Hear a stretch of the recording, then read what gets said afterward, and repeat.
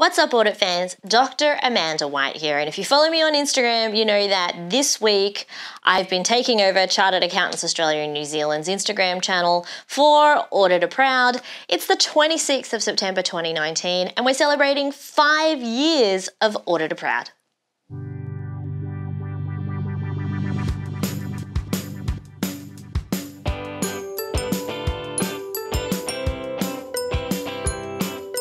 I officially started working in audit in 1997 when I took a cadetship position at Coopers and Lybrand, which is now PricewaterhouseCoopers. But Fun fact my career in audit actually began before then when I was in high school. My very first job was as a shelf price auditor. That means that my job was to scan items, check the shelf price, and make sure that those two matched up because if the price scanned higher than what was advertised on the shelf, we had to give that good to the client for free or to the customer. So, my very first job when I was 15 was at a Target store, um, the department store, as an auditor. I gave that away, and then, funnily enough, I ended up in computer audit at Coopers and Lybrand. And then eventually I moved into academia to do what I do now, which is I love teaching audit to students and telling everybody about our fantastic profession. So it is five years of celebrating Auditor Proud online. Uh, I can't believe we've been doing that for five years already. Thank you to the Audimation team for this fantastic Audit Hero badge. Um, everybody knows that I love audit, but today is the day that we come together as a community to share our passion for this fantastic profession. There's certainly been a lot in the news about audit recently. In Australia, we've got a joint parliamentary inquiry into audit. There's been similar inquiries in the UK. PwC was just fined almost 8 million US dollars for failing to comply with independence requirements. But audit is not broken. Audit is filled with lots and lots of dedicated people working hard to learn to make the best professional judgments that they can in really difficult and complicated circumstances where we are trying to figure out do we have all the information? Are we making the right decisions? Especially in where there's a lot of grey area and where there's a lot of accounting estimates. So, to celebrate five years, the Discover Audit team asked people to talk about the five things that they've taken away from a career in audit. So, what are my five takeaways? Number one, communication skills. You learn to communicate with everybody from people who work on the factory floor right up to the audit committee, with executives, with partners within your firm. So, communication is number one. Number two is teamwork, because no audit is done alone. You're always working in a team. Working working with diverse groups of people, especially with international business, is becoming really, really important. Number three was that there are no easy answers in terms of making professional judgments. That's actually the basis, it was the basis of my PhD, that we're all influenced by our own education, our own upbringing, our own clients, and what we've been exposed to. So, no two people make decisions in exactly the same way. We've got methodologies that we can follow, but professional judgment is so contextual and it's really, really complicated. So, the best thing that you can do when it comes to learning about making professional judgments is practice. It's working with your team, it's discussion, it's learning. Audit is, beca- is really one of those lifelong learning situations. So we've got communication, teamwork, making decisions, um, and uh, professional judgments. Number four is really collecting evidence. And it's what do I need to know? Where do I get that evidence from? How do I know that it's appropriate? So, gathering that evidence. And then the fifth thing, and the thing that I think is probably most useful to people who are studying audit who maybe don't want to be auditors, is the ability to identify and understand risks and internal controls. Because even if you want to be in marketing, you want to be a sports agent, uh, you want to run your own business, you need to be able to identify the risks and then implement controls to minimize the impact of those risks or negative impacts of those risks on your business. Now, in today's YouTube video, I'm doing something a little bit different. It's not just going to be me talking about Auditor Proud. You hear me talk about that all the time. Um, the thing that we're going to do today is we're going to have sort of three little segments. The first segment we're going to do is a discussion with the team from Discover Audit. You can follow them on Instagram, on Facebook, social media, everywhere. They're the ones behind Auditor Proud. And we're going to hear Crystal talk about what Auditor Proud and Discover Audit is all about and some new initiatives coming up. I'm here with Crystal from the Centre for Audit Quality, and if you're not following the CAQ on Twitter, on Facebook, or on YouTube, you really should because there's some really great resources there. But Crystal, tell us about what the CAQ does for educators like me in regards to audit. Yes. The Center for Audit Quality is a organization that's governed by the largest eight accounting firms and the AICPA, and they come together to create resources, educational materials, um, they matters that they think are important to the profession. And for today, that matter is talent. And what can they do to help provide resources to educators to bring talent into the profession? Mm-hmm. And so we have all kinds of case studies um, that can be I used to know there in were your case class studies. I've only used the videos. Oh, that's yes. awesome. We actually have a new case study that's being developed at the moment right now, but we have three currently that exist. Um, one is LCD Cloud Systems. Um, we have one that's based on um, ICFR, Internal Control Financial Reporting. Um, it goes through the whole uh, case from soup to nuts, as they say. And, soup to um, nuts. I don't think I've and, and if you um, you go online and register, um, you can um, get the discussion guides. We work with Harvard case studies oh, to create those. Awesome. we also have our new Discover Audit website that we have created, and that's specifically that's for around, students, right? So if you move this way a little bit, there's this is that would be. Oh, hang on. Discover well, Audit. It's one of these. This Discover Audit. but um, yes, Discover Audit is a website that we've created for students and educators, um, and it's particularly just for a career in public accounting. It's more educational resources for those who don't quite know what audit is yet. Which provides, a lot of students, um, I get that yes. blank look like, welcome yes. to audit. Yes exactly. it provides everything from videos. Um, we have career trajectories that have the actual follow the path of actual auditors and showing how much they make, the opportunities they get along the way. Um, we have lots of fun videos. And there's a documentary coming, right? There's a documentary. That's what this sign is about. We have a new Road Trip Nation um, documentary. They're an organization that provides career exploration information on different various paths of for um, whatever professions, careers students want to go to, giving them exposure to different paths. And they didn't currently have anything on accounting and audit. And so we have helped them add that to their portfolio. Um, the road trip started at August 5th. Um, they are currently interviewing professionals all across the country. That's so awesome. Yes. I'd love that job. Yes, that it will so come great. out in 2020. Um, so we're working. I'll be sure to share that when it does happen. Yes, um, and we're also putting profiles on their online system, which is called Share Your Road, and that provides students with the opportunity to, when they when you go into those college systems where you enter your criteria of what you like, now accounting and auditing will pop up as an option, ah. and they will be able to go through and look at profiles of various professionals who followed that career path to see if anything resonates with them that they might want to get involved. Fantastic! This sounds yes. really really exciting. And also, if you didn't know, the CAQ are the people behind Auditor Proud. We are. So we in are. September, Auditor Proud. Oh, there's like a great shirt there. Um, but definitely keep an eye out for that hashtag in September on Instagram, it's on Twitter. September 26th. September 26th. Yes. Fantastic. From daylight to sundown, we will be just sharing all of our pride for why we are proud to be auditors. And down under, we start about a half a day ahead. Yeah, there you go. So we're always a little bit confused it's, as it's to whatever time zone you're in. Fantastic. Well, thanks very much, Crystal. I will put links to all of the resources that we talked about here in the description to the video so that you can find out more.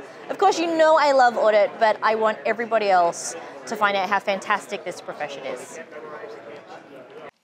Ditched my auditor proud hat because hats just make my head itchy. I don't know what it is. But our second segment is a whole lot of little snippets of interviews of people that I've worked with um, who've worked with us at UTS in teaching audit, students of mine who've gone out into the profession, uh, people that I know who I want to showcase in terms of their career paths and what audit has done for them and how audit has changed in those uh, past five years um, and the biggest changes that they've seen. Not everybody stays in audit. So, audit is a really fantastic foundation for a career in business. And I wanted to share some of their stories with you. So, you're going to hear from Medina, you're going to hear from Owen, and you're going to hear from Will. Hi, my name is Medina Aziz. I'm a director at Grant Thornton. I've been working in the audit profession for the last 13 years. I'm auditor proud for a number of reasons, and I think the most important thing is that every day I get to work with a diverse range of clients and people that inspire me and that I'm constantly learning from. Uh, certainly, I'm proud to say that um, over the 13 years, I've still have been using computers and Excel in audit. But one thing that's definitely changed in the profession is um, the increasing use of technology um, within our clients, and certainly it's an expectation of auditors to really understand custom and complex systems that are used to produce financial data, um, and I think that's definitely evolved over the last 13 years. Hi, I'm Owen Baker. I'm the Group Financial Reporting Manager at Linx Cargo Care Group. Uh, I started here only five months ago after 12 years uh, working in public practice, uh, studying my career and spending that entire time with Grant Thornton. Um, during that time, I worked in Sydney. Um, I also worked in the UAE in Dubai for a short term secondment. And I also spent uh, two and a half years working for Grant Thornton International in London. Uh, that project was focused on uh, audit methodology development um, and, and was not at all a client facing role, but purely um, a, a, technical um, focus role. Uh, I've also uh, tutored at UTS with Amanda um, and, and did that for two and a half years before I uh, went over to the UK. Um, I, I, think you have a really good, um, curious mind from working in audit, um, and, and it's that, those problem solving skills and, and that, that, that ability to, to dig into um, the, the relevant uh, issues. Um, and to help you find the answer to problems. I, I think I spend the majority of my time here problem solving day to day? Yeah, so working in um, in audit methodology for two and a half years, I guess, was very focused on change in the audit profession. Um, to now have stepped into um, a financial reporting focus role outside of the, I guess, the audit industry per se, um, I, I, can see it from a, a different angle again. Um, the interaction with technology has got to be the biggest change that's happening at the moment. Um, how, how auditors can use transaction data in order to be able to audit um, both P&L, but then also to, to help out with investigation into balance sheet um, account rec- audit um, work is is I guess where what's happening at the moment, and that ability to then move into continuous auditing into the future as well um, and, and not have such periodical um, type work um, and, and equally to try and preempt um, where things can be going wrong before, before we even get to a period end kind of audit area is where I see kind of the biggest changes happening at the moment. Um, I guess my one piece of advice would be do it. Um, you know, don't don't uh, don't hold back. Don't um, hesitate in getting into the industry. I have nothing but positive things to say about my time working um, in public practice and with Grant Thornton and the opportunities it's given me um, both internally with the with, with Grant Thornton, the, the audit firm, um, during that 12 years. You know, you only stay with an employer for, for a, you know a period of time like that because you have amazing opportunities and being able to travel um, to all of the different places in the world that I've seen. Um, that's as a result of the fact that audit is such a, um, a global practice, and and and if that, if that's something that really interests you, then definitely that's a career to get into. Hi, I'm Will, and I'm Auditor Proud because I get to do what I love every day, which is helping people and to build trust in society. So, what does that mean? Um, I work with a team of um, specialists who help with process improvement, utilizing my background in audit to help improve audit in PwC. So I work for PwC in our assurance practice, currently in our assurance transformation team. Um, my current focus is on our offshore strategy. So, how do we um, create that onshore capacity for our team and increase that speed of delivery? Um, in my day to day role, I partner with a range of stakeholders to help with um, the way that teams can more effectively and efficiently um, perform their audits to the same um, high quality standard that we've set.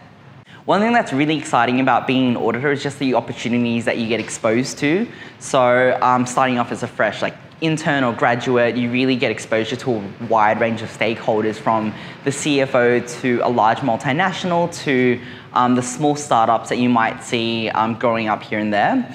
Um, it's one of those opportunities that you can really um, make and shape into your own. So um, I started off my career um, client facing in um, the external audit or financial statement audit um, area, and now I've sort of moved on internally and I'm able to use my audit skills to really make a difference for the teams who service our clients. Our final segment for this video is with Gina and Vanessa from Audimation.